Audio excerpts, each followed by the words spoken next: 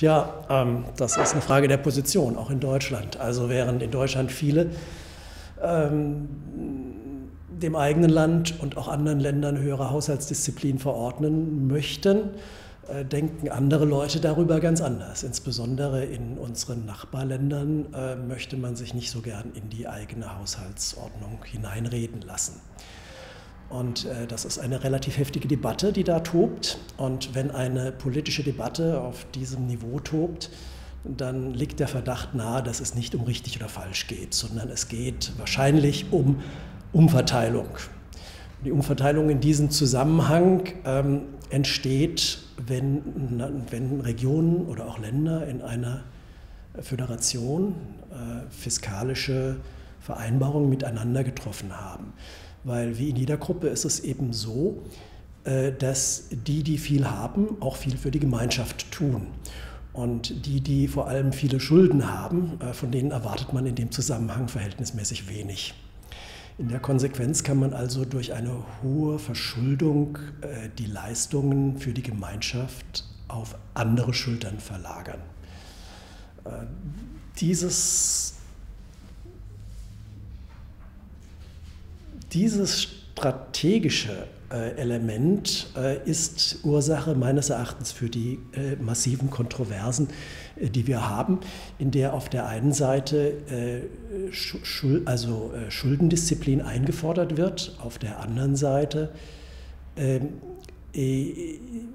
diejenigen, die ohnehin schon verschuldet sind, auf ihre Autonomie pochen und jedenfalls zumindest mal Freiheit für sich selbst fordern.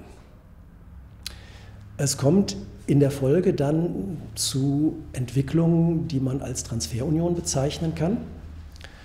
Äh, und Transferunionen haben ihre ganz eigene Psychologie.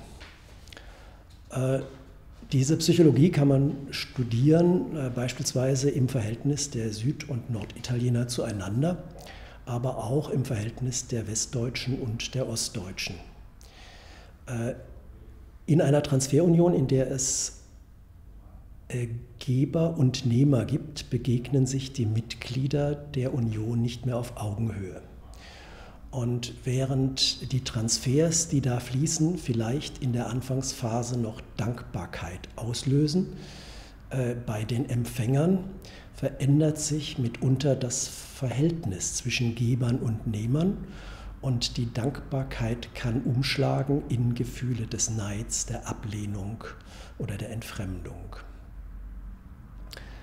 Äh, das sind gefährliche Entwicklungen und gerade wenn man jetzt äh, in Europa die Weichen für eine neue Finanzverfassung äh, stellt, sollte man sich über diese Probleme im Klaren sein. Denn es könnte bei einem Eintritt in eine Währungsunion, in eine Transferunion in, innerhalb Europas relativ schnell zu einem Wiedererwachen nationaler Identität kommen äh, mit den äh, einhergehenden ähm, Vorurteilen, die das äh, zwischen den Nationen mit sich bringt. Vorurteile einer Form, wie man sie sich eigentlich nicht wünschen kann. Diese psychologischen Aspekte einer Transferunion stehen, glaube ich, derzeit nicht so sehr im Brennpunkt der politischen Diskussion, Sie sind aus meiner Sicht aber für die Frage, in welche Richtung Europa sich entwickeln sollte, von großer Bedeutung.